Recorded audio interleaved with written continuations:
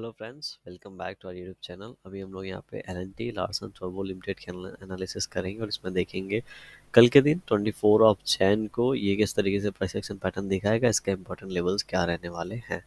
तो आज के दिन एक अच्छी सेलिंग हम लोग को देखने को मिली है, ठीक है?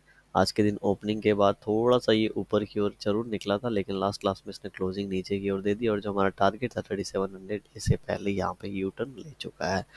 अब यहाँ पे आज के दिन का जो कैंडल है, इन दोनों कैंडल के साइज़ का हम लोगों को दिख रहा है।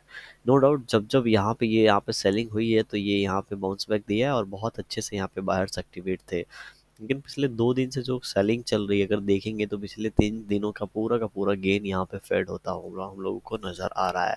तो अगर ये किसी सिनारियों में, ठीक है, ये कैंडल का अगर लो यहाँ पे ब्रेक कर देते हैं, जो कि लगभग लगभग thirty five hundred twenty five के आसपास का है तो हम लोग को एक अच्छा फॉल मतलब थर्टी फाइव हंड्रेड का टच देखने के बाद थर्टी फोर हंड्रेड का लेवल इस शेयर के अंदर देखने को मिल सकता है। ऐसा मैं क्यों कह रहा हूँ? तो इसके लिए हम लोग वीकली टाइम फ्रेम पे जाएँगे और यहाँ पे चीज़ें देखेंगे। वीकली टाइम फ्रेम पे आप देखेंगे कि यहाँ पे एक अच्छा कैंडल हम लोग इसके बाद एक्सपेक्टेड था, लेकिन इसका हाई ब्रेक नहीं हुआ तो वो एक्टिवेट नहीं हुआ तो हमारा ऊपर का टारगेट एक्टिवेट नहीं हुआ।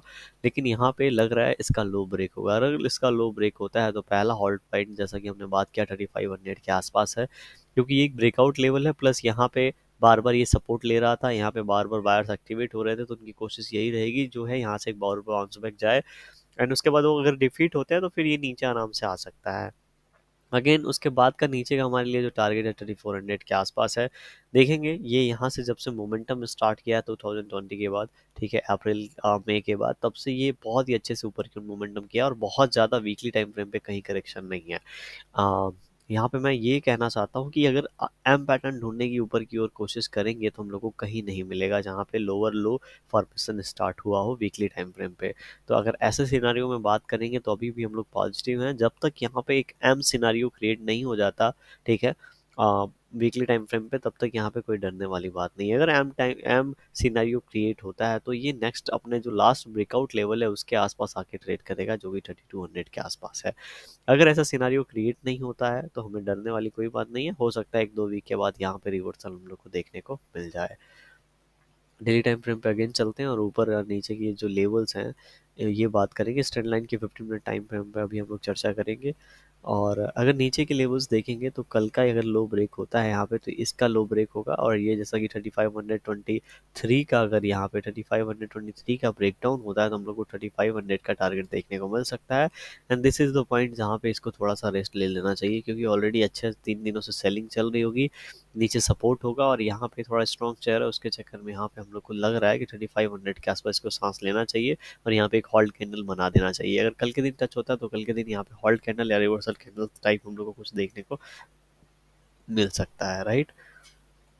ऊपर की बातें तब तक नहीं करेंगे जब तक यहाँ पे ये जो लास्ट स्विंग है हमारा, ये हाई जो लगा हुआ है, ये ब्रेक ना हो जाए, तब तक हम लोग ऊपर की कोई भी बात नहीं करेंगे। फिफ्टीन मिनट टाइम फ्रेम में चल के देखते हैं।